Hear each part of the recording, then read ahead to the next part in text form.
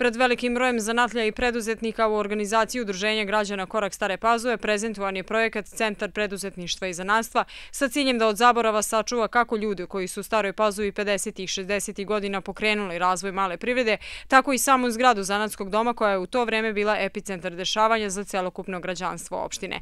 Prezentacije prisustuo i podpredsjednik Vojvođanske vlade Miroslav Asin. Preduzetništvo zanatstvo Stara Pazova je nešto što je povezano kroz istoriju i što je pojmovno povezano. Zna se, ili bi mi koji smo stariji pamtimo da je nekada Stara Pazova i u vreme kada nigde nije bilo zanatstva, zajedno sa Adom u Vojvodini bila simbol upravo te ljudske kreativnosti, tog što malo čas reče koleginica, da ljudi znaju snagom svojih ideja da naprave sve ono što zamisle.